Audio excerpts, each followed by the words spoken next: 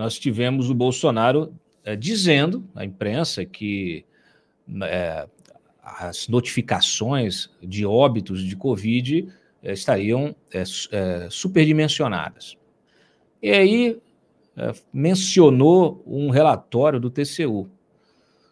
Ontem mesmo nós questionamos o TCU a respeito desse relatório ao longo do dia, noticiamos aqui, esse o TCU acabou dizendo que, admitindo né, que não, nunca produziu nada naquela linha, e hoje nós trouxemos também mais cedo o documento usado pelo Bolsonaro, um documento apócrifo é, de duas páginas, é, elaborado por um auditor do TCU, Alexandre Marques, e que ele inseriu no sistema do tribunal horas antes de, do, de, do próprio Bolsonaro usá-lo na, na, na, conversa com, com jornalistas, enfim, com apoiadores, e falar isso para a imprensa.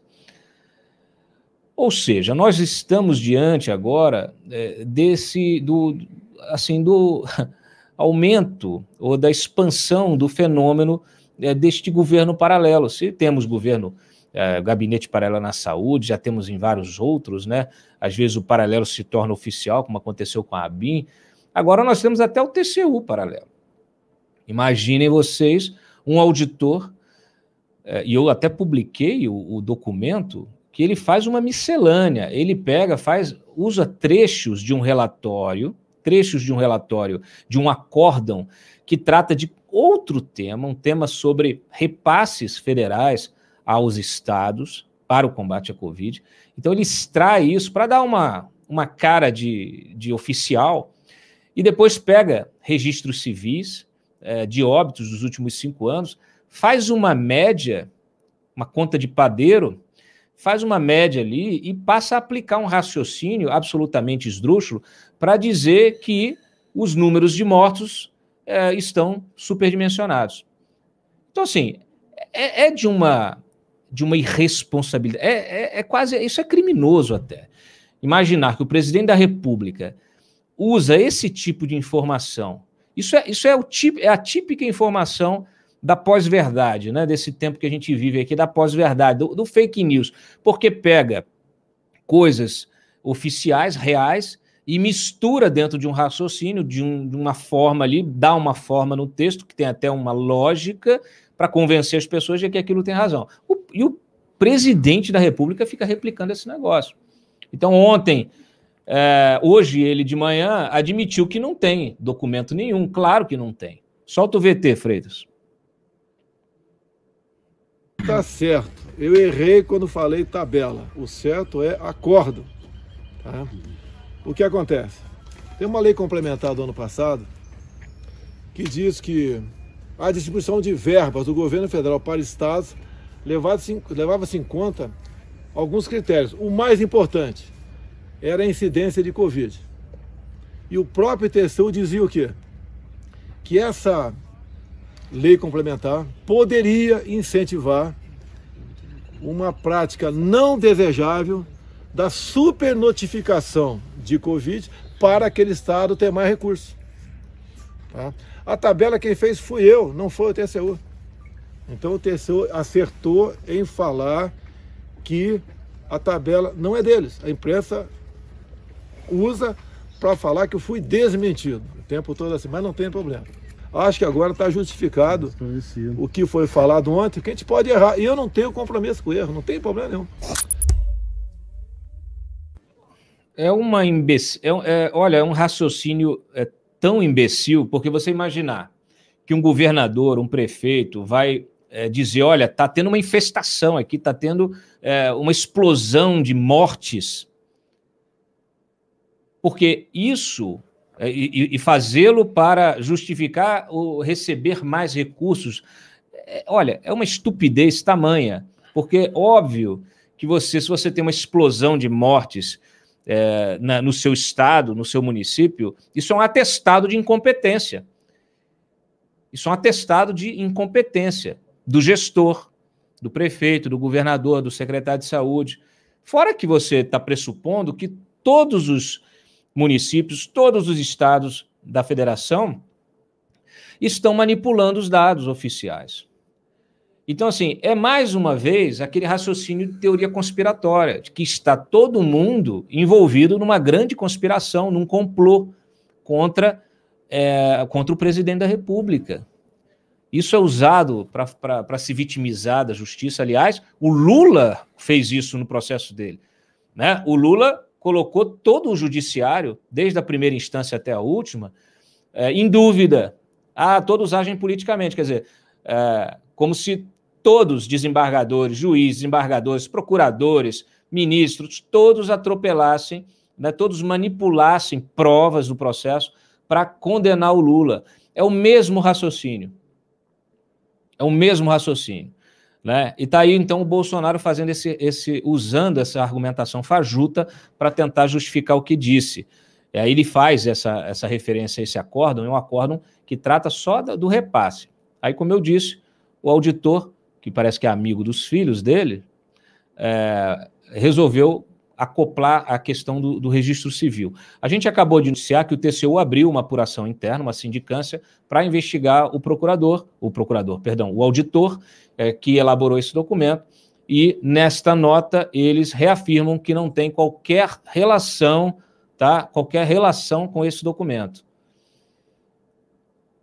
Então, assim, gente, é, o negócio está saindo, já saiu do controle há muito tempo. As pessoas precisam ser responsabilizadas por esse tipo de, de, de, de informação. Não é possível. Nós estamos falando de um auditor, servidor do Tribunal de Contas, que deveria pautar o seu trabalho, né, a sua conduta profissional, com base né, em dados, de, é, é em fatos, em cálculos reais e não fazendo esse tipo de, de tramóia aqui para poder, é, sei lá, ganhar o, o apoio do presidente da República, Diego.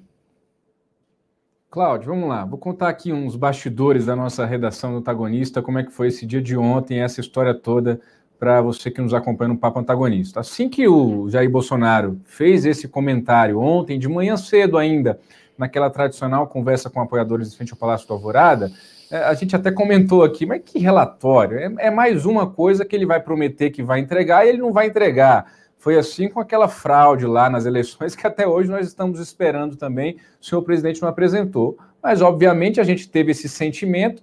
No minuto seguinte, nossa equipe de reportagem já entrou em contato com o Tribunal de Contas da União para ter uma resposta sobre essa fala, que era uma fala grave, uma fala séria do presidente da República. É claro que não fazia sentido, mas a gente precisava ter essa resposta oficial do Tribunal de Contas da União. O dia foi passando, veio a hora do almoço, veio o início da tarde, veio o meio da tarde e nada do Tribunal de Contas da União soltar uma linha falando que aquilo não fazia o menor sentido. Aquela altura do campeonato, no fim da tarde, já estava a Bia Kisses, por exemplo, bolsonarista, presidente da CCJ na Câmara, tuitando a fala do presidente Bolsonaro reverberando, dando força, dando tamanho para aquela declaração de Jair Bolsonaro. Aquela altura do campeonato, na fim da tarde de ontem, já tinha youtubers bolsonaristas falando TCU desmascara. Eu recebi de familiar bolsonarista no meu WhatsApp aqui, TCU desmascara a faça da Covid. E aí eu entrei em contato com a assessoria do TCU, falei, olha, vocês não vão fazer nada e aí o TCU solta uma nota de um parágrafo que nós demos em primeira mão no antagonista, desmentindo o presidente Jair Bolsonaro. Em seguida, eu apurei com auditores do Tribunal de Contas da União que durante o dia todo chegaram a ser feitas duas notas de resposta. Eu tive acesso a uma delas, mas não pude divulgar a íntegra pelo sigilo da fonte, pela, pelo respeito que eu tive ali ao, ao auditor que me passou essa nota de resposta. Uma delas era grande, falava, desmentia, explicava toda a situação. Final das contas, o tribunal decidiu fazer um desmentido rápido. Agora, Cláudio, o que interessa é que já pegou. O que o Bolsonaro queria era isso: era o descrédito do Tribunal de Contas da União. Para daqui para frente, qualquer decisão do TCU contra o governo de Jair Bolsonaro, contra as contas do governo de Jair Bolsonaro, ele já vai ter lá os seus 20, 30% de claque desmerecendo e dando descrédito ao Tribunal de Contas da União. Isso é gravíssimo, isso é perigosíssimo. Hoje a imprensa disse, até mesmo nós colocamos que ele reconheceu um erro. É mais do que isso. O Bolsonaro jogou, jogou ontem essa informação de manhã, provocou esse caos e agora Cruzué, você, Cláudio, com essa informação exclusiva que trouxe também agora há pouco, isso vai sendo desmascarado. Agora, não é só um erro, não. Presidente cometeu, fez uma estratégia, Cláudio, que isso é muito grave. É o Tribunal de Contas da União em xeque por conta de um dessa loucura que eu não consigo nem adjetivar aqui.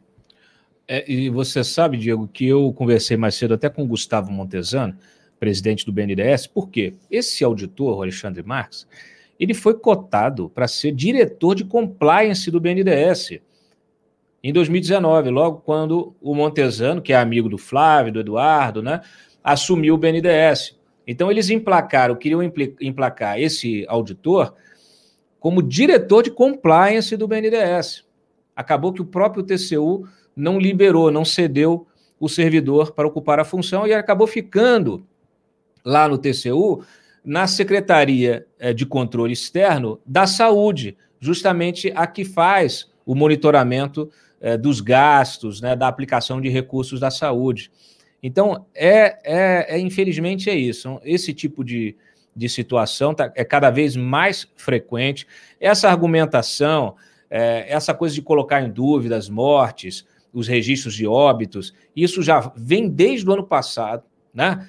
É sempre uma, uma nova invenção. Eles não têm capacidade de provar nada do que eles falam, então ficam sempre alimentando esse tipo de especulação.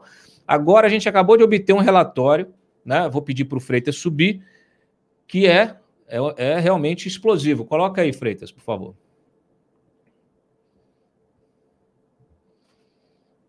Olha lá, relatório do TCU confirma que aproximadamente 50% do que o Bolsonaro fala é mentira.